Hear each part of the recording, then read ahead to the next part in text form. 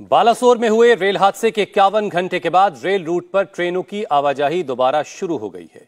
एक हज़ार से ज़्यादा कर्मचारियों और अफसर की दिन रात की मेहनत के बाद ये रूट दोबारा शुरू कर दिया गया है। रूट ठीक होने के बाद सबसे पहले डाउन लाइन पर मालगाड़ी को गुजारा गया। इस दौरान मौके पर रेल मंत्री अश्विनी वैष्णव खुद मौजूद थे। रेल मंत्री ने दिन रात काम करने वाले रेलवे के कर्मचारियों की तारीफ़ भी की। वहीं अभी तक रेल हादसे की वजह साफ़ नहीं हो सकी। इस बीच हादसे के पीछे साजिश की आशंका से भी सरकार ने इनकार नहीं किया है। सरकार ने मामले की जाँच सीबीआई से करवाने का फैसला भी किया है।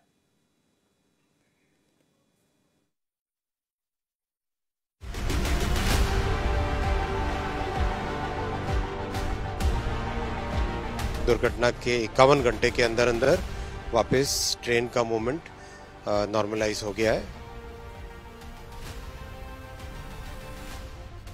जो भी दोषी पाया जाएगा।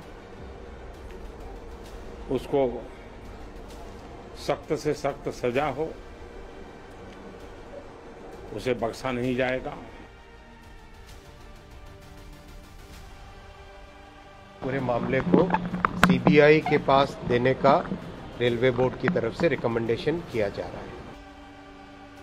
बालासोर ट्रेन हादसे के इक्यावन घंटे बाद ये सुखद तस्वीर सामने आई।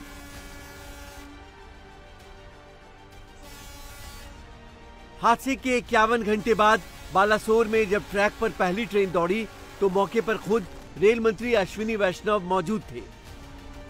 उन्होंने मालगाड़ी के ड्राइवर का हाथ हिलाकर अभिवादन किया। जिस वक्त मालगाड़ी उनके सामने से गुजर रही थी तो रेल मंत्री ने उसे नमन भी किया। दिन रात एक हज़ार से ज़्यादा कर्मचारियों और अफसरों की कड़ी मेहनत के बाद, जब डाउन लाइन पर ट्रेन चली तो रेल मंत्री के साथ साथ वहाँ मौजूद तमाम अधिकारियों और कर्मचारियों के चेहरे पर संतोष था। बहुत अच्छा काम किया सबने पूरी टीम ने। सबको मन में बहुत दुख है कल परिवारों के हो गए लेकिन रूट कॉज तक जिसने भी किया है इसको सख्त से सख्त सजा आप सबको पूरी बधाई जिस तरह से देश सब पूरी टीम को। बोलिए। बालासोर ट्रेन हादसे के बाद रेलवे अधिकारियों के सामने सबसे बड़ी चुनौती रूट को दोबारा शुरू करने की थी, क्योंकि तकरीबन एक किलोमीटर का ट्रैक पूरी तरह बर्बाद हो गया था। लेकिन सबकी 24 फोर इंटू सेवन मेहनत ने इस चुनौती को पूरा किया और सिर्फ़ इक्यावन घंटे के अंदर रूट को चालू कर दिया गया। जिस तत्परता के साथ प्रधानमंत्री श्री नरेंद्र मोदी जी ने काम करने के आदेश दिए थे, पूरी टीम ने उसी तत्परता के साथ काम करके एक प्रॉपर सिस्टम से दोनों की दोनों पटरियों को रिस्टोर कर दिया है और दुर्घटना के, इस भयानक दुर्घटना के इक्यावन घंटे के अंदर अंदर वापस ट्रेन का मूवमेंट नॉर्मलाइज हो गया है। अब वो कॉमर्शियल डिपार्टमेंट उन सब के बारे में ऑपरेशंस की पूरी प्लानिंग करके उस हिसाब से टाइम टेबल और सब पैसेंजर्स को इन्फॉर्मेशन दी जाएगी। भीषण हादसे के इक्यावन घंटे के बाद बालासोर में रेल रूट तो चालू हो गया, लेकिन वो सवाल अभी भी बना हुआ है कि आखिर इतना भीषण हादसा कैसे हुआ? क्या ये इलेक्ट्रॉनिक इंटरलॉकिंग सिस्टम का फेलियर है या फिर ट्रेन साजिश की शिकार हुई? अब इन्हीं सवालों के जवाब की तलाश सीबीआई करेगी। जिस सिचुएशन में ये दुर्घटना हुई है, जिस सिचुएशन में ये दुर्घटना हुई है और जो परिस्थितियाँ हैं, उन सबको ध्यान में रखते हुए जो कुछ अब तक का एडमिनिस्ट्रेटिव इन्फॉर्मेशन मिली है, उस सबको ध्यान में रखते हुए आगे की इंक्वायरी के लिए, आगे के इन्वेस्टिगेशन के लिए, आगे के इन्वेस्टिगेशन के लिए इस केस को, इस पूरे मामले को सीबीआई के पास देने का रेलवे बोर्ड की तरफ़ से रिकमेंडेशन किया जा रहा है। शुक्रवार की शाम करीब सात बजे ओडिशा के बालासोर में हुए रेल हादसे पर सरकार से लेकर रेलवे बोर्ड तक कोई भी साजिश की आशंका से इनकार नहीं कर रहा है। खुद रेल मंत्री हादसे के पीछे बड़ी साजिश की तरफ़ इशारा कर चुके हैं। जी आई थी यहाँ पर। उनका स्टेटमेंट मैं स्पष्ट करना चाहता हूँ कि ये जो दुर्घटना हुई है, उस दुर्घटना का कोलिजन अवॉइडेंस सिस्टम की बात नहीं है ये।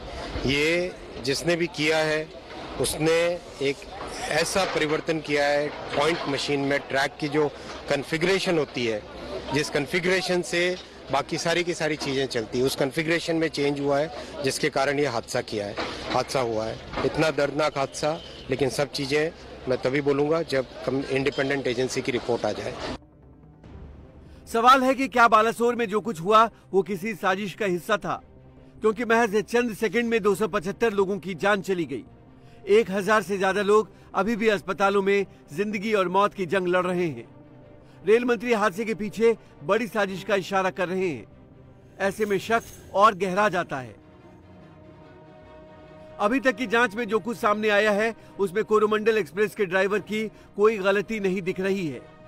ट्रेन के ड्राइवर ने जो कुछ रेलवे के अधिकारियों को बताया है, वो पूरी तरह रेलवे बोर्ड के डेटा से मैच करता है। ड्राइवर साहब से जो बात हुई, उसमें उन्होंने बताया कि उनको ग्रीन सिग्नल मिला था। उसने लाल पे सिग्नल नहीं पास किया। ना उसने ओवर स्पीडिंग की। उन्होंने बताया, इससे पहले, उनको बहुत चोट लगी है, पर उन्होंने साफ़ बताया कि सिग्नल ग्रीन था। और ये कि सिग्नल ग्रीन था, ये हमारा जो डेटा का रिकॉर्ड है, जो कि एकदम फाइनल रिकॉर्ड रहता है एंड अगेन वो सील्ड रिकॉर्ड है, क्योंकि वो भी एक पार्ट है इंक्वायरी का। वो रिकॉर्ड भी ये दिखाता है कि सिग्नल ग्रीन था। अगर कोरोमंडल एक्सप्रेस के ड्राइवर की कोई गलती नहीं है तो आखिर गलती कहाँ और किससे हुई? शक नंबर एक, क्या इलेक्ट्रॉनिक इंटरलॉकिंग सिस्टम के साथ छेड़छाड़ की गई?